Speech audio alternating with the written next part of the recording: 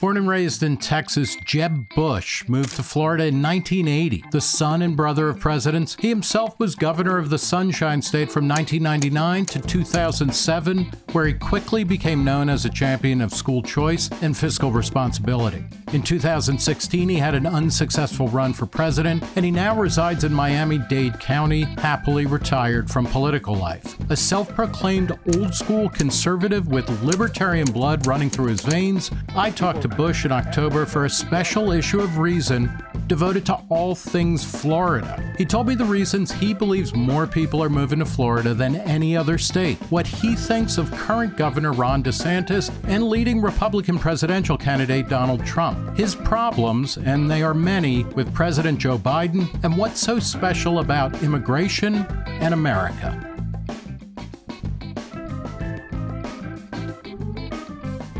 Governor Jeb Bush, thanks for talking to Reason. Honored to be with you, Nick. Uh, so let's start with uh, the question of you know, Florida has become the fastest growing state in the country. What explains Florida's growth as a destination for people wanting to move there and live there and work there? Uh, I think Florida works pretty good. It's like whatever problems we have uh, pale by comparison to to other states, and I mean, like if you, no disrespect to the Northeast, but if you have business up there like I do, and you go and you drive, like you're going to get a broken back basically trying to go from here to there because the infrastructure is is decayed. The challenges are immense, and you come here and the roads the roads are working. We've got a lot of people on them, but uh, fewer potholes. Things work better, and so it's for people that come to visit, they can kind of get uh, the allure of Florida. And then typically what happens is they visit a few times and then they say, all right, I'm making the, when I'm making did, the jump. When did you move there? What year? 1980. 1980. And Florida has, at least since the, I mean, in the post war era, but definitely in the 60s, 70s, 80s, 90s, and continuing, just saw really kind of explosive growth. Texas has also where you grew up. You went to school at University of Texas Austin. Yeah. Uh, I hope that they lose in whatever you know football games that they have coming up this season. I'm rooting for Ohio State. Be that as it may, both Texas and, and Florida, uh, two states that have become reliably red, are now kind of kicking the butt of New York and California. The, these four states are the four most populous states in the country. Um, is there something going on where the general kind of political system in Florida and Texas is being revealed as better than the ones that are in place in California and New York? Uh, Miami Dade County, where I live, has two and a half million people. It's a big urban teeming place full of uh, diversity. It has a 1.4% unemployment rate. I mean, mm-hmm. effectively, it used to be, Nick, we're old enough to remember full employment was like at 4%. Oh, yeah. So, I mean, people are, half the people have two jobs, I guess. I don't know. It's like, it's, it's full of opportunities. Um, the tax code matters, obviously, for people uh, with more wealth, mm-hmm. for sure. We don't have income tax. We have smaller governments the impulse isn't to like to try to tax your way to prosperity or regulate your way to prosperity. It's not a perfect place for sure. I get nervous about bragging too much because the minute you stop hmm. challenging basic assumptions about the role of government is your atrophy sets in and mm-hmm. you know government kind of just starts filling the seams and uh, so uh, we've had a great run because we've had a period of limited government uh, and and we don't try to like micromanage people's lives. Mm-hmm. And as long as we do that and we stay focused on the important long term things, and I would say make making sure infrastructure stays up with the growth, making sure our natural systems are protected, which is a important uh, conservative principle in my mind. Is mm-hmm. you know you could rape and pillage the the uh, the swamplands around South Florida, and you would have a hell of a problem going forward. So investing in these long-term things, which they don't do in California and New York because they've made, you know, 20, 30 years ago, they made obligations to the unions and obligations in the here and now that that creates a government that is far bigger than it is in Texas or in Florida. How, talk a bit more about conservation efforts or the environment in Florida is a big deal because you know it's a state that is surrounded by water on you know three sides, right? Um, and yeah. environmental regulations tend to be um, looked askance by conservatives. Uh, it, they're also expensive. How how uh, when you were governor, how did you manage to keep environmental regulations in place that preserve, you know, the ecosystem, you know, the kind of natural infrastructure, but also didn't overwhelm the ability to kind of create jobs and and build, you know, space for more people to move there? So uh, we had a land purchasing program that that identified the pristine areas, the watersheds that were important to protect, uh, that otherwise could eventually become developed. Mm-hmm. Um, and we we either did conservation easements or we purchased them. We purchased or did conservation easements. Um, we did three billion dollars, probably four billion dollars uh, during during eight years. Um, directly appropriations from the legislature and a Florida Forever program where we took doc stamp revenues. Basically, the growth of the state mm-hmm. was taxed um, through transfer taxes during you know when you when you sell or buy a piece of property, and that money was bonded to buy these properties, and it was called Florida Forever. Mm-hmm. And that's a tradition that is bipartisan, but Republicans have been just as aggressive uh, in protecting these long term things. Because Florida would be a crappy place to live if if we develop uh, along the watersheds. Mm-hmm. First, and, secondly, it would make it really hard to. We don't have dams. I mean, we had the tallest place in Florida is ten miles south of Alabama. Um, we have fifty five inches of rainfall, yeah. and it all goes out to tide basically. So protecting these systems is also good to be able to continue to grow to, to have water capacity for urban development for agriculture and for the natural systems. So you know conservation uh, low taxes low business regulation allows the economy to grow and for people to be able to move there. What about the cultural side? And that that may not be the right word but i'm when you look at the history of florida you know, through the 60s, it, it, was part of the Confederacy. It was a segregated state. Um, you know, somehow in the 70s uh, and beyond, it really moved into a modern phase. Um, how, you know, you, you don't get the sense that Floridians in the 1950s were kind of the hustling entrepreneurs that you see there now. How did the culture change, and how important is that to the vitality of, of a place to live?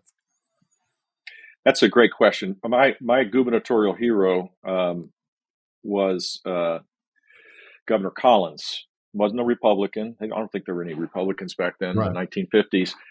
He his first before he got elected before he got inaugurated, he took a trade mission to Latin America. I mean, like who does that? Um, not in the 1950s. Uh, and he fought against segregation. Uh, successive governors worked hard on economic development, and the population itself changed. We became. You were totally right. I mean, people down here in Miami when I when I came, they were calling it Miami, mm-hmm. like a southern town.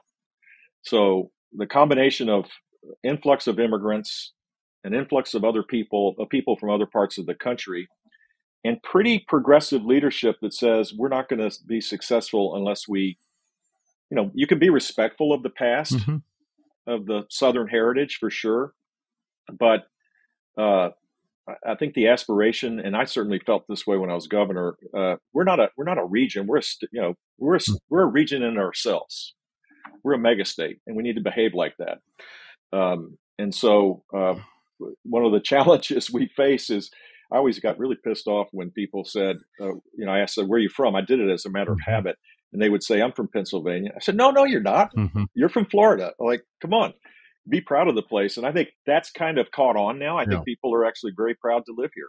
What um what's the role of education? The the South as a region kind of historically lagged in education for a variety of reasons. Florida, particularly under your uh, guidance, really started setting a path for you know the state funding um, you know not just education in general but more choice and things like that you know when we're talking yeah. you know we're talking roads we're talking you know the environment we're talking tax regulation what about education So this is this is what is not discussed in, in detail, but eh, like let call it say Chicago or, or you know Washington D.C. or New York, they spend twenty five thousand dollars per student. If you divide in, it all in up, the state of New I mean, York, the average per pupil spending is about thirty grand a year, average across right. the state. I was trying to be mm. kind. How much of that is basically to pay for the sins of the past? Mm-hmm. Pension obligations that were negotiated, healthcare benefits for retirees. How much of that is actually going to the classroom? Mm-hmm. Compare that to Florida, where we, you know, our people in the past didn't do that. In fact, you know, when I was governor, we eliminated tenure. We moved to uh, an option for a defined uh, contribution plan rather than defined benefit. The pension was is, you know, effectively well funded compared to other states. So you can focus on the here and now in the education. So our funding, while it's less than the national average, um, in terms of classroom education, I think is pretty good. And then we didn't just accept the status quo. We graded schools, you know, and if schools were failing, parents would give options. We eliminated social promotion. We created real robust accountability. We put a real focus on early childhood literacy, and we created the most expansive public and private uh, parental choice programs in the country. And the net result is parents, like here in Miami Dade, third or fourth largest school district in the country, 70% of the parents, of the students, parents decide where their kids go to school. Mm-hmm. Think of that. I mean, you think, I mean, would Los Angeles be better? Yep. Would Chicago be better? Would New York be better under that system? Hell yeah, it would. And, and so we've seen, uh, particularly with in the lower income communities, kids of color, kids with learning disabilities, we're top five in the country based on the nation's report card.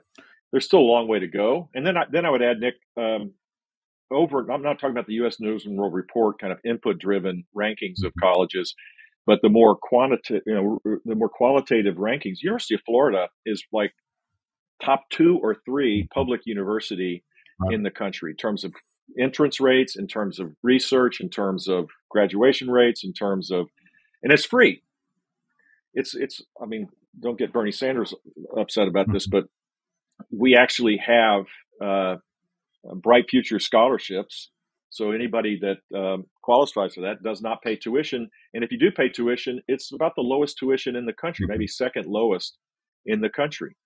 Um, so that's a pretty good deal. It's about the best deal a family will ever get from government, uh, irrespective of what state they're eventually going to live in. Right.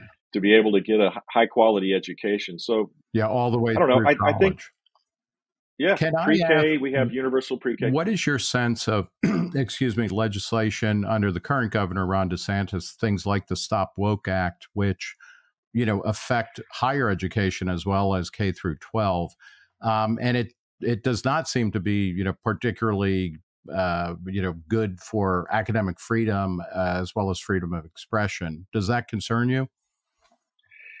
Um, it, it concerns me a little bit. Um, I do think that if you're in fourth grade or below that you you shouldn't be accessing any ish you know any mm-hmm. discussion mm-hmm. of sexual orientation um, unless your parents so-called don't choose to put you in a school where that's part of the curriculum of course yeah. or, or or if your parent decides that you know after school right. they can talk all they want about that stuff I don't, i'm not sure there'd be like one percent of parents yeah. that would talk to a kindergartner about this but stuff. I'm thinking more of the you know higher education because it is.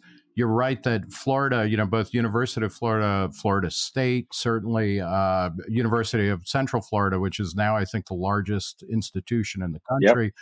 Um, that's you know where you're hearing people, you know, including faculty saying like, I I can't teach history under under this kind of law. I don't know. I mean, uh, look, the governor has uh, is a master at virtue signaling, mm-hmm.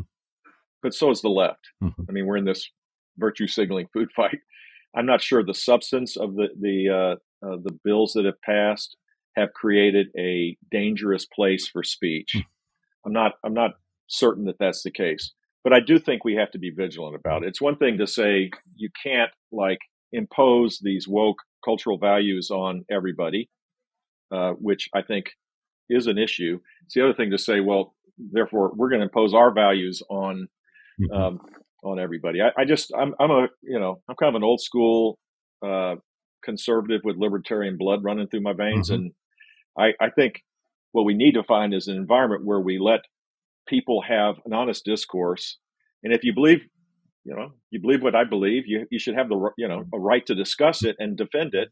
And you should allow other people, the, the people that may disagree with aren't the enemy. They just might be wrong and have a open dialogue. And I think our universities are pretty good at that compared to other places where we're seeing right now, you know, if you're a Jewish kid going to one of these elite schools, mm-hmm. you're in danger. I mean, that is mm-hmm. ridiculous uh, what's going on. So both sides uh, have these impulses that I think I'm uncomfortable with, but I would say the left is probably uh, much worse than the right. Uh, we talked about uh, Florida being like the destination for places. It has the fifth uh, highest foreign born population as a percentage of its residents in the country. Uh, in 2022, yeah. more Americans moved from other states to Florida than any other state in terms of net migration. Uh, my question is Do immigrants, whether they're from outside the country or within the country, do they bring their values with them? This is what you hear a lot. You know, Venezuelans coming into Florida are going to turn it into, you know, Venezuela of the North. Um, New Yorkers, Californians going to Calif- uh, to Florida are going to bring those governmental systems with them. Do you do you believe that, um, or do you think that's off? Uh, I think it's off. I, I, I, it's always been a concern, you know, that all these uh, whoever from wherever they come and they bring their values. But I mean, think about it. If someone's leaving California, and there's quite a few Californians that have moved here, from more to Texas and to Arizona. But if they're leaving, they're leaving for a reason. Uh, they're probably leaving because they want economic opportunity for themselves and their families, or they're tired of being taxed to death. Mm-hmm. You know, so one of the interesting uh, data points in terms of migration is I think 25% of all of the income that has moved from one state to the other has moved to Florida. 25%. Mm-hmm. So these are high income people that are moving here because, you know, like if you live in New York City, uh, the next budget shortfall, which is probably next month, the first idea, the second idea, the third idea is tax the rich. Well, there's probably you know, one percent of the taxpayers probably pay forty percent of the the budget. These guys are really stupid to do this, but they keep doing it, and so you've got, uh, you know, people migrate for different reasons. The immigrants from other countries. There is no evidence that Hugo Chavez is going to do well in, uh, yeah. in Miami. I well, promise Castro, you that. Though, right? I mean, obviously, the Cubans who moved from Cuba, you know, they yeah. love Castro. That's really what they were coming to, to America for, right? Um, what do you exactly? Um, so these, but the point I wanted to make because, uh, you know, in Miami Dade County, which I keep talking yeah. about because I live here, sixty-five percent, maybe seventy percent of the people in this county were born outside the country. Mm-hmm. There is nothing like it in the rest of the country. Yeah. Los Angeles may come close, and these are patriotic people. Mm-hmm. There is no woke. I mean, people don't walk around with pronouns and their mm-hmm. you know calling cards around here. Um, they believe in freedom. They've left oppressive regimes. Mm-hmm. They're concerned when they see policies that try to impose, um, you know, a heavy hand of government. Um, it's chaotic. It's diverse. It's fun. Yeah. Um, and and it's uh, it adds a dynamism that is really remarkable. It's, it's what, the, what the principal reason why I moved in 1980, and it's even better now. Yeah, what do you make though of the anti-immigrant sentiments that you know are definitely on the rise throughout the country? But people like Ron DeSantis, uh, people like Donald Trump, who you know, I'm talking to you from New York. Uh, I think you, Florida, has to claim Donald Trump as, you know, as a Floridian now, and we'll talk about the Florida man concept in a bit. But, you know, what do you make of the anti immigrant sentiment, which seems to be rising throughout the country, but also in places like Florida where people are streaming in? Um, where does it come from? I don't, and how do you yeah, how do you manage well, it? Well, first, I think there's a legitimate concern about an open border, mm-hmm. and whether you are pro immigration like I am, or a nativist and want to close legal immigration, even mm-hmm. um, great countries, all countries should have the right to control their border. And this this current administration, the previous administration had great rhetoric, didn't do much, uh, did did a little bit better. But this administration has been um, you know the, the convergence of bad policy and bad politics uh, you want to stay away from that intersection mm-hmm. and he manages to sit right in the yeah. center of it with his border policy so there's a lot of anger and frustration for that um, i'm not sure that's that's um, a xenophobic feeling at all mm-hmm. i think it's a legitimate concern about um, the this wave of people taking advantage of a broken immigration system you know these people come and they claim a they say they have a well-founded fear of persecution and ultimately 5% will have a legitimate mm-hmm. claim and they should be allowed in 95% don't after four years because the courts are all clogged up and then they get their deportation order and the likelihood of them showing up for that is uh, slim or none how so, would you how would um, you address that then because there, you know and there is that separate issue of legal immigration, which people like Donald Trump has said he, you know, when he was president, he wanted to reduce legal immigration. He did. Independent. He actually did. Yeah. Um, you know, but how how do you deal with the border, and then how do you kind of disconnect the two, so that people aren't thinking so, immigration is by definition a criminal act almost? You you change the asylum laws to require people to make their claims outside the country. Uh, the Trump administration for a while did that, but they they may not have had the legal basis to do it by executive order. You need to change the law. Mm-hmm. Um, that would be one element. Controlling the border using technology and uh, and and a wall where appropriate. It's not appropriate across every mile, but it certainly uh, um, would would would provide uh, some security there. Use e-verify properly um, create a guest worker program mm-hmm. where it's easy to come to work legally than it is to come illegally. Right. Um, create a uh, narrow the people that are coming by family reunification. We're the only country in the world that has spouse and minor children like all other countries, but also adult siblings and adult parents. So we've had, you know, since 1965, mm-hmm. um, majority of people coming are coming through that family reunification. A lot of them are not as productive mm-hmm. as as they could be if you narrowed that and expanded the number of people coming that aren't taking jobs away but are creating jobs. Use the Canada model. Mm-hmm. Um, deal with the you know the dreamers that uh, through no fault of their own are here and give them a path. And when you say deal with them, those, yeah, you mean offer them a way to be here legally. Yeah, I mean, come on, you, these are like twenty five year old young men and women now. They have no nexus to the country that their parents brought them in. I mean, let's be realistic about it. And then for the 10 to 12 million people that are probably 12, 13 now, million people here um, uh, illegally, give them a path to to to uh, residency, mm-hmm. not not citizenship, which I think would be the fair thing to do. Now that's a I wrote a book about this, mm-hmm. and those were the ideas. And those ideas, I wrote that in 2013, and it still applies because the political class up in DC want to use this. Both sides want to use this as a political wedge issue. Yeah. What you know, you uh, and your brother were in in many ways the you know you're kind of like the, a dying breed of pro immigration and pro immigrant Republicans. Um, what has happened to the Republican Party that it has veered so far away from seemingly having anything good to say about immigrants? I don't know. I mean, uh, I think there are a lot of Republicans that are pro-immigrant per se, mm-hmm. um, but are look. The reason why people are angry is uh, the systems that we've relied on, the institutions we've mm-hmm. relied on, haven't worked. We can't enforce our existing laws as it relates to immigration. People get upset. I think it's legitimate. Um, you have the avalanche of fentanyl coming into our country and the tragedy that that brings. You have, um, I mean, all. I mean, think of an what what institution is is working the way it should in the 21st century, mm-hmm. and so there is a deep resentment that the elites are doing quite well. You know, like I'm I'm blessed. I got a healthy family, an intact family. Uh, I'm in I'm in business in a way that I can add value. You know, I got a great life, and a lot of other people do. But there are a ton of people that are one paycheck away from real hardship, and the system hasn't been working for a lot of those folks. And so you try to find scapegoats.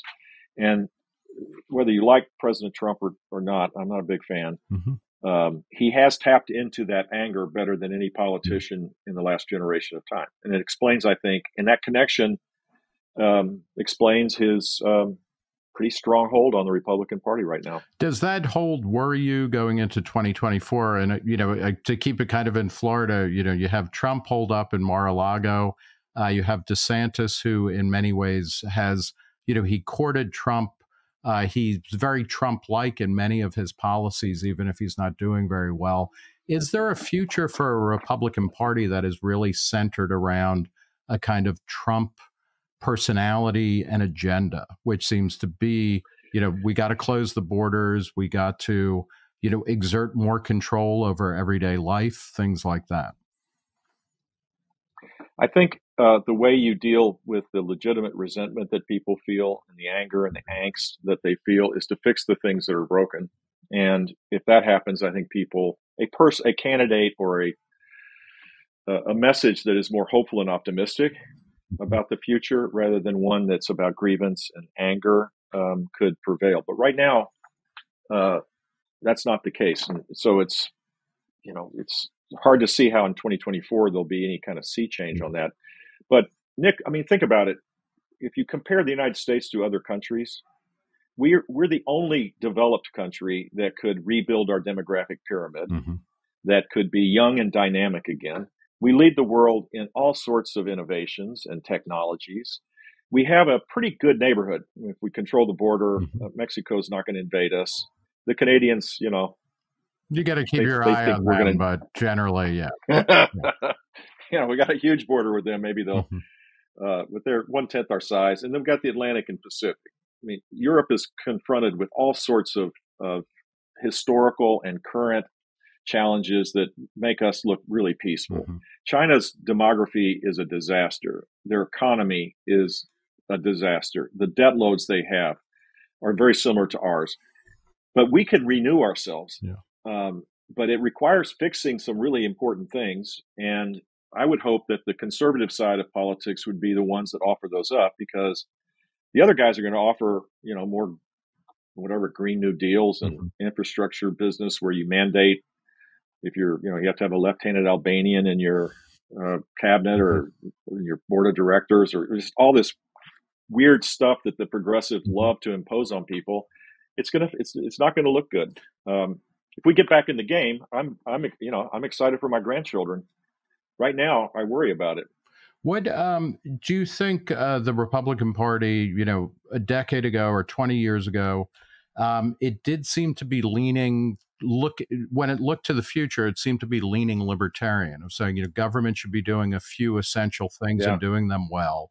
That got derailed, you know, by wars. It got derailed by administrative bloat and a lot of other things. But now, when you look at the Republican Party, it's rare to see anybody have nobody has a libertarian bone in their body. They're not talking about spending. They're not talking about reducing the size and scope of government. Is a you know, does the Republican Party need to go libertarian in order to kind of win the future? I, I, look, I, am out of politics. Uh, I guess I'm so old school that I think believing in freedom and limited mm-hmm. government and entrepreneurial capitalism, uh, rather than picking winners and losers and doing it through government, is the path forward. I've always believed it. I haven't changed my mind. Um, I don't know, but maybe the indication indicator is is the subscription base of Reason is it up or down? Yeah, well, we're reaching because, more people, you know, so that's maybe good. that's good. But we'll keep it yeah. up because you got to keep working it because it doesn't look like it's having much effect in D.C. right now. You're absolutely right. Conservatives, you know, when Jim Jordan trying to buy votes, literally to buy votes to to get become a, the speaker, says, well.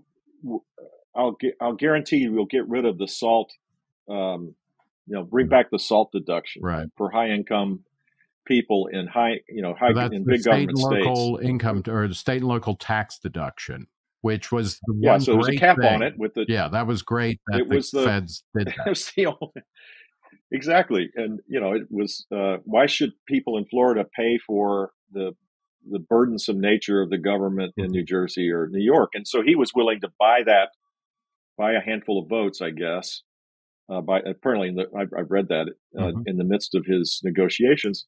Well, a conservative would never do that. Mm-hmm. Like, so these are this is a different version. These are populists, maybe mm-hmm. not conservatives. They're certainly not libertarian.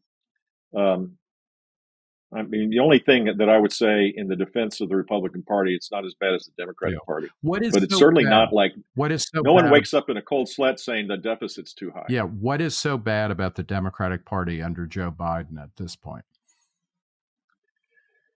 Um, proposing what a six trillion dollar uh, spending plan for money and with money we didn't don't have, and only getting two trillion or something. Mm-hmm. You know, these are big numbers. Um, his using the regulatory state to um, to carry out his agenda. Hmm. Uh, I have a business that we're involved in that that helps uh, that refurbishes transformers. Well, there's now a new law, a new rule that's uh, going through the process that would basically eliminate the supply chain of transformers, mm-hmm. which is kind of important if you want to electrify the the uh, transportation mm-hmm. system and harden the grid and expand. I mean, think of all the GPUs that are necessary for mm-hmm. uh, data processing, and you know, this all requires transformers. And another, it's a policy that deals with uh, um, using materials that we can't, we we don't make mm-hmm. uh, to be part of the transformer uh, manufacturing process that will have less carbon emissions. So it's it's this multitude of agendas yeah. that are imposed that make it harder and harder for the United States to compete. Yeah, did, that troubles me. Did you ever think? I mean, as you were you know rising through the ranks and whatnot, that you know after the 2000, that you would be seeing the rise of anti-free trade people on the Democratic side and the Republican side, uh, and people being anti-immigrant. Uh, you know, again, in 2000 i didn't see it no yeah. i didn't see it i didn't see it when i was governor either hmm. um, no this is this is this has happened um, maybe in increments not discernible to the naked eye mm. it's kind of happened over time like all things do i mean that that's we're living we're not in a linear world we, mm-hmm. we're in a cyclical world and the cycle right now uh, is people are very comfortable with uh, advocating government solutions to everything. Yeah. Now, another reason why I love Florida is get, the contagion hasn't spread mm-hmm. to other places. I mean, we're AAA bond rated and we don't have an income tax. We, uh, under Governor Scott, uh, I think they reduced the debt, the state debt by 70%. percent mm hmm I mean, there was no debt issued in the eight years that Rick Scott was governor. Um, what other state did that in a high growth situation? I certainly didn't. Charlie Crist didn't do it. Mm-hmm. I, I, don't know if Governor DeSantis has, but um, there is a way to show that you can, you know, pursue limited government mm-hmm. ideas and balance the budget, create reserves, deal with eight, you know, hurricanes all the time, um, have a don't have a bloated government, um, and and help people and put the people that are most vulnerable in the front of the line. That that that philosophy still exists here. Um, you uh, one of the ways, or one of the things that's kind of unique about Florida is the special tax districts, which have become, you know, kind of a big thing. Uh, you know, uh, between fights between Disney and DeSantis and whatnot. Could you explain quickly what those are, and are you in favor of maintaining them? Because how how many are there in Florida? I mean, there are hundreds. There, there's a ton of them. Yeah. Some of them are very limited in their scope, water districts, mm-hmm. and others. Um, they're they're regional in some cases. Uh, they some of them have taxing powers, uh, and you know the proper thing to do is hold them to account, mm-hmm. um, sunset them, review them. The case of the Reedy Creek, it is pretty unique. In fact, it's the only one of its kind, which is the, in effect the quasi county government, mm-hmm. and it was uh, it was pretty smart to do in whatever 1960 because there were two counties where the, Disney's property existed, and this was a way to assure that the quality that Disney had mm-hmm. in terms of governance, infrastructure, could be maintained. And frankly, the infrastructure in, inside Reedy Creek is world class. Yeah. I mean, it's not. I'm not kidding. Like best infrastructure in the United mm-hmm. States. So there was a reason for doing it. I remember when I was governor, we had 68 chalices, silver chalices, that were part of the SS Florida, uh, you know, group of silverware for for hosting people, I guess. And the 68th was Reedy Creek. Mm-hmm. Um, it was kind of part of who we were. Uh, I, I, I, don't know. I'm I'm uncomfortable with changing that. Mm-hmm. I think it's important to, to have accountability around it. And the governor's task, or the board that he's replaced the Disney executives, I guess, Mm. are, are supposed to be doing that as long as it's not punitive. I mean, But it was, Look, right? I mean, whether- he explicitly said Well- he was going after Disney because they crossed him on a couple of laws or initiatives. it, you yes, uh, it's it's it was punitive in terms of rhetoric Mm-hmm. for sure. Is it punitive in terms of the operations of Disney in Central Florida? Hmm, I don't know. Yeah. No, I'm not sure. Uh, but I hope it isn't because uh, 80,000 employees and billions of dollars of investment. It's the, it's a principal reason why we don't have an income tax in our Mhm. state. Uh, I mean, 32 million people last time I checked go to go to the Disney properties. Mhm. It's an economic driver of success for a ton of other people, not just the employees of Disney. So, uh, I think you need to be respectful of that. And if the youngins out in Southern California are woke, okay, fine. I mean, the, the Disney CEO should have should have like slapped him across the face and said, you know, grow up. Hmm.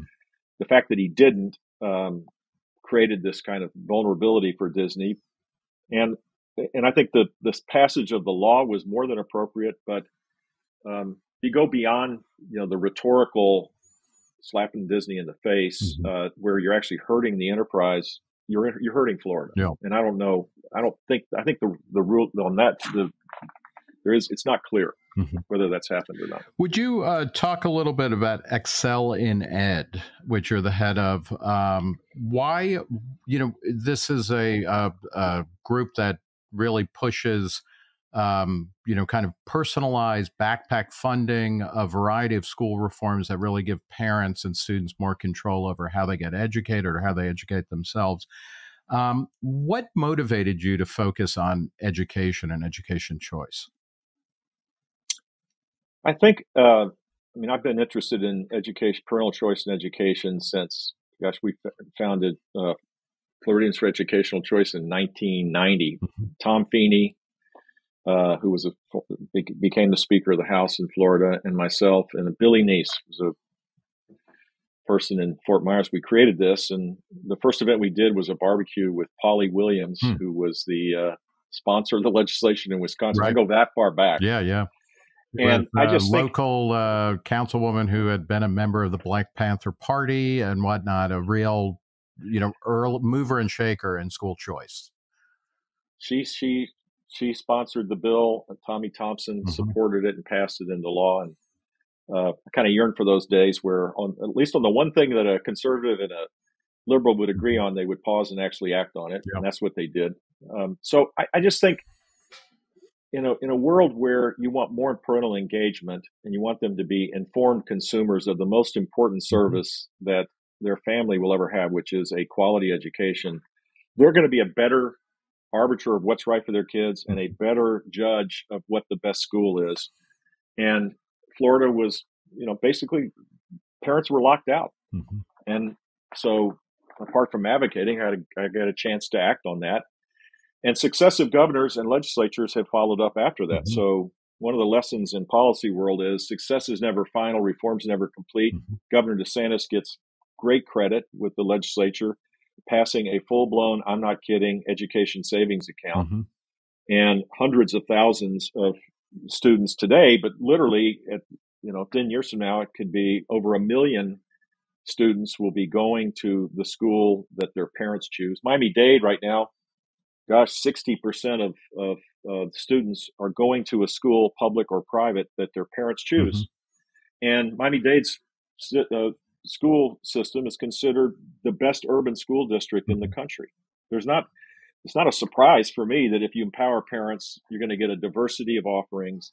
And if you have accountability around that and parents understand where their kids stand, you're going to get a great result. And, you know, for the elite families, uh, everything's going to be fine. Yeah. You know, because they're they're the first teachers of their kids. They tutor their kids. They pay for, you know, they pay for tutors. They do all this stuff to protect their kids and help them learn.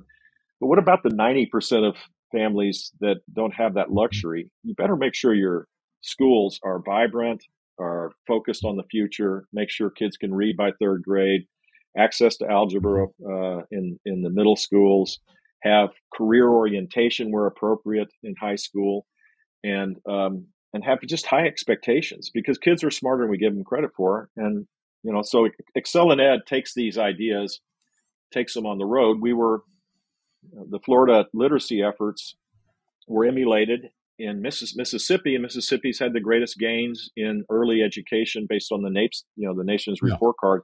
It was 50th out of 50, and it went. Um, it's it's now it's the only state in the pandemic era that has actually seen significant gains. Why? Because they they had high expectations for kids, mostly minority kids, mostly low income kids. They trained teachers on the science of reading, not the bogus other approach the majority of teachers were taught and uh, they ended social promotion in third grade. And it, it can work. Yeah. I mean, and now the so-called Mississippi miracle, it's really not a miracle. It's hard work by teachers that are trained appropriately, where resources are given to let them let them soar. Do you think there's a contradiction uh, among conservative education reformers, where on the one hand there's an emphasis on choice, which you know, at various points, people, you know, liberals or people on the left talked about it, but that's kind of faded. They're very locked into a kind of centralized status quo, you know, old model. Um, but conservatives who say, on the one hand, they want to give parents more and more choice, but then people like Ron DeSantis who say, okay, but certain books, certain curricula, certain things are off the table. Um, is that a contradiction? Um, that needs to be kind of explored and, and blown up. Yeah, but show me the books that were banned, mm-hmm. so-called book, you know, banned. The this, the books in question were removed from elementary school to age-appropriate places. Is mm-hmm. that appropriate? Yeah, I think it is. Um, look, there's there's so much misinformation these days. Um, and people you know they aggregate their news in mm-hmm. ways that uh, validates their beliefs mm-hmm. they're not learning anything they're just getting their views validated i think i heard you talk about that on uh, megyn kelly or someplace probably it's yeah you know something we, that we confirms be, your beliefs right a, a, program or a show that confirms what you already know yeah there's there is definitely confirmation bias mm-hmm. in all the information we get and uh, I mean, I know the people. Manny Diaz is the commissioner of education. Mm-hmm. Uh, I've talked to him about this and the amount of heat uh, that has been generated. I mean, look, Governor DeSantis, he's been a really effective governor, mm-hmm. and I think he's done a fine job. But he's controversial as all get out by design. Yeah. You know, what do you candidate Ron? Candidate Ron wants to get wants to wants the libs all fired up because yeah. that is kind of the way we play politics now. Governor Ron if you look at actually with the you know what's what's happened and the implementation of it um, it's a little bit different and you know I, I like I like leadership at the governor's place because things can you can move the needle there. You know, and that's what that's what he's done. And Florida's a better place because he's been an aggressive governor. What do you think about uh, his, you know, shipping or, or sending migrants to, you know, places like New York City or Martha's Vineyard and stuff like that? Well, that's a virtue signaling, mm. very creative one. Yeah. Um, it seems to have gotten the attention mm-hmm. of people, and now you have big city mayors that are saying the Biden administration's got to get its act together enforcing the border. Had that not had had Governor Abbott and Governor DeSantis and maybe other governors not done this, they probably wouldn't have gotten that attention. Do I do I am I comfortable with you know people looking who, who who know, you know, mm-hmm. I, I'm not, I'm not concerned that about people crossing the border like they're bad people at all. Mm-hmm. If I was in their circumstance, I would do the exact mm-hmm. same thing. That doesn't make it right. Mm-hmm. Uh, we have broken immigration law that's not enforced, and uh, these are, you know, these these families. Um, I have sympathy for them for sure, but the Biden administration should get its act together and they ought to work with Congress to fix the laws that are broken and they ought to enforce the existing laws in a much better way. Mm. And they're negligent on this, and a lot of people are suffering.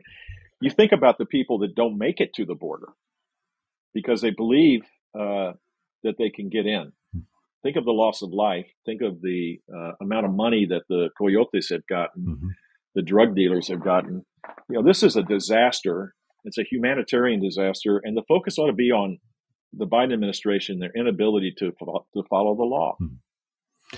Uh, as a uh, final question, um, the concept of the Florida man, you know, a uh, you know a person. It's usually a man. It can be a woman.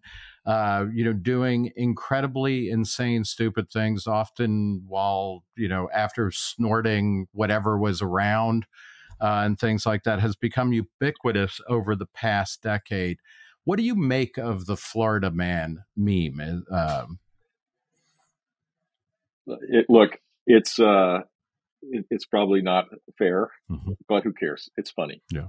Um, we should embrace it. You know, like we're we're striving to have a disproportionate number of candidates for the Darwin Award each year, and we should be very proud of it. Yeah, you want to run the table. We'll take. I'll tell you what. I'll take the Florida man. All the people laughing at Florida because of that. Yeah. Uh, I'll take our tax structure. I'll take our environmental policy. I'll take our education mm-hmm. system. I'll take our way of life, uh, and um, I'll be okay. Uh, just a quick follow up on that. You know, it, it's interesting. So Florida is now the third most populous state. Um, you know, the top four are uh, California, Texas, Florida, and New York. New York, California, and Texas all have strong kind of identities that people know. You know, California was the dream. New York is New York City and the hurly burly and all of that. Texas, uh, where I sadly I passed two years in Huntsville, Texas, so uh, that I don't talk about too much. But um, it, you were in Huntsville. By I was living outside the prison, so yeah. Okay. I, I, uh, I was like, uh, wow. But um, Texas is its own, you know, its own country, its own region. It has its, you know. Does Florida have an identity or a culture that can, you know, galvanize the nation, or can it become the next big thing in kind of American identity? I, th- I think it can, but it's a great question, Nick, because uh, my brother, when he got elected, I went to his inauguration, and same size crowd as my inauguration in 1998. Um, not everything is bigger in Texas, but there were no American flags. They were all Texas flags, right? Hundreds of them all around. You know, fast forward to my inauguration, there were like there wasn't even a Florida flag on top of the state capitol. there were American flags though all yeah. over the place, uh, but it, we don't have a. I think we have an emerging identity, but it's not. It's not clear. It's more mm-hmm. Florida is a group of regions in many ways, um, and South Florida is very different than the Panhandle. Mm-hmm. It would be helpful to have a sense of shared identity uh, for the state. I've, I've always advocated that. I don't think we've reached our full potential there. And by the way, I'd kind of like that for our own country. Mm-hmm. What is the shared identity that we have in our country now? We're we're tribal and we're broken ourselves up in all these disparate parts. I mean, Florida does mirror the United States in that yeah. way in some fashions, but it's a more positive. Um, Very much so, yeah. Positive place. What, people are proud to live in Jacksonville, proud to live in Tampa, yeah. but they're not necessarily. That doesn't always translate to proud to live in Florida um, you know, going back to the the concept of a shared identity for America in our history, you know, we've had various ones, including, you know, we were the the Puritans and the Pilgrims. Uh, we were the westward explorers. We were uh, a nation of immigrants was certainly a huge one. The, you know that I you know think about a lot. My all of my grandparents were immigrants from Europe. That ended sometime around the end of the Cold War. It seems do you have like what is you know do you have an idea of what a cultural identity for america that is inclusive enough so that you know everybody who's here feels part of it but also not so loose that it becomes meaningless yeah i mean i think this will sound like a cliche and that's sad that it does but i would say the shared identity should be that it doesn't matter where you start in life mm-hmm. it doesn't matter where you were born uh, it doesn't it, it, what what matters is that you have a chance to rise up mm-hmm. and that your hard work will be rewarded and that you you know you'll be part of the exceptionalism of our country where mm-hmm. people irrespective of where they start in life have a chance to to succeed and uh, that's being challenged like never before mm-hmm. uh, and a lot of people don't believe that that's the case anymore and so they resort to more government or they resort to you know collective action mm-hmm. rather than uh, pursuing their dreams as they see fit. I think America at its best is, you know, crazy, chaotic, uh, two steps forward, one step back. Mm-hmm. It's not planned out. Um, the great, um, you know, the great businesses, the great ideas that will emerge in the post-pandemic era, I'm really excited about. Mm-hmm. Um, history is replete of examples of this. And at a time when we really need that sense of shared identity, I think it's eroded to the point where it, it, it maybe of all the things that trouble me, that's that and the fiscal deficit are the two things that trouble me the most. All right, we're going to leave it there. Thank you so much for talking to Reason, Governor Jeb Bush. Thanks, Nick.